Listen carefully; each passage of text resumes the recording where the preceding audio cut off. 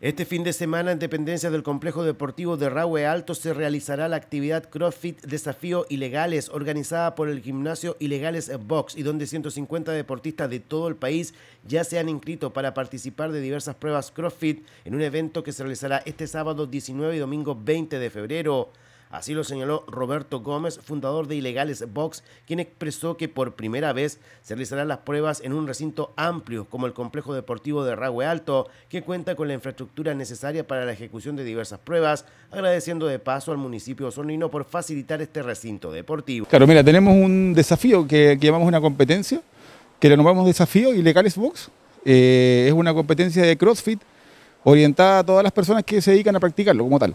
Entonces, este, tenemos gente que viaja de todo Chile, gente de Santiago, de la quinta región, mucha gente de la novena región, de la, de la cercanía también. Y bueno, se viene grande, o sea, vamos a hacer una competencia amplia. Por primera vez aquí nosotros vamos a realizarlo en un complejo deportivo grande. Vamos a utilizar una cancha de fútbol, vamos a utilizar piscina, vamos a hacer nado, un gimnasio y bueno, vamos a sacarle mayor provecho como tal al complejo deportivo Ragüe Alto, que es el que nos facilitó la municipalidad.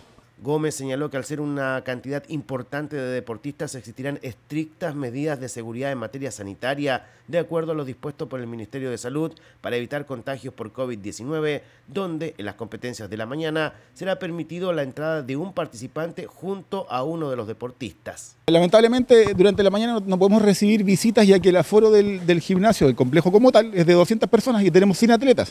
Entonces lo que definimos para, para la jornada M es asignarle que cada atleta puede llevar un invitado. Así ordenamos de mejor manera y permitimos que también cada persona lleve a un familiar o algún pariente que lo pretenda ir a ver. Entonces, para la tarde sí podemos recibir eh, público, ya que tenemos 50 o 60 atletas más, y ahí podemos permitir quizás unos 50 o 100 personas de público, así que se permitiría que entre eh, gente externa, lógicamente que cumpla con las medidas sanitarias, use mascarilla, con su pase de movilidad al día. Finalmente, Roberto Gómez explicó que el CrossFit son ejercicios de alta intensidad que desarrollan los deportistas en esta oportunidad, donde de paso invitó a la comunidad a ser parte también de este importante evento deportivo. Bueno, el CrossFit son ejercicios eh, a alta intensidad que a veces se pueden realizar intervalos, involucran mucha gente, mucha, muchos movimientos, eh, ejercicios amplios que involucran un gran rango de muscular, este, a diferencia de los gimnasios más convencionales. Entonces aquí se puede hacer de todo. Se supone que el, crossfitero como tal debe ser una persona apta para cualquier ejercicio deportivo. Correr, nadar, saltar, eh, lo que sea, levantar pesos y eso.